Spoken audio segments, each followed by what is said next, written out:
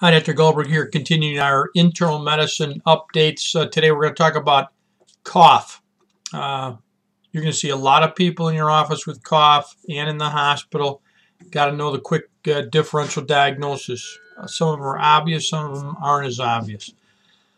Number one, cough variant asthma. Sometimes asthma or bronchospastic uh, disease is uh, manifested by cough. There's not necessarily any wheezing or shortness of breath, just a dry, hacky cough. So think about bronchospasm for whatever trigger that may be.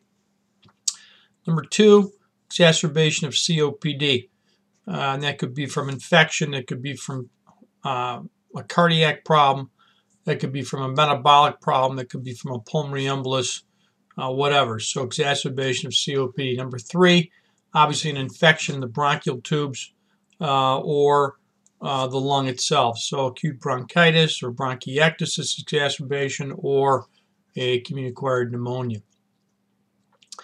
Uh, number uh, four, uh, GERD. So gastroesophageal reflux can sometimes masquerade as cough. Get rid of people's GERD, their cough goes away.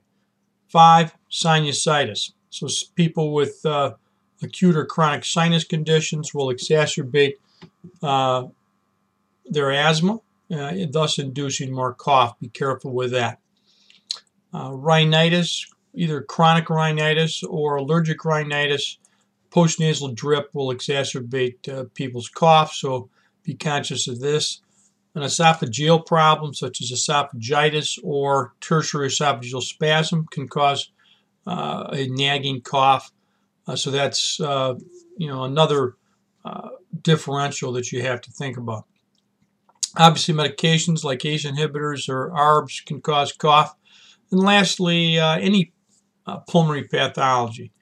Uh, pulmonary nodules expanding, some, uh, some type of a lung tumor. So obviously you have to be concerned about the cough has been going on for a long time.